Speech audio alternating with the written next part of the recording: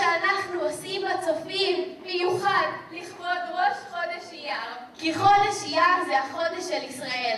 A special meaning to the Rosh Chodesh Iyar. All those that are grateful that we are part of Am Israel, let's say this next bracha.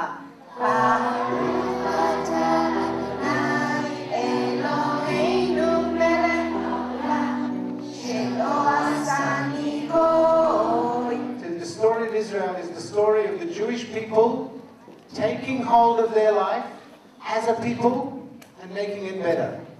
The story of Israel is a story where we can be an Am Chofshi, where we as Jews can live as a people. Happy birthday also.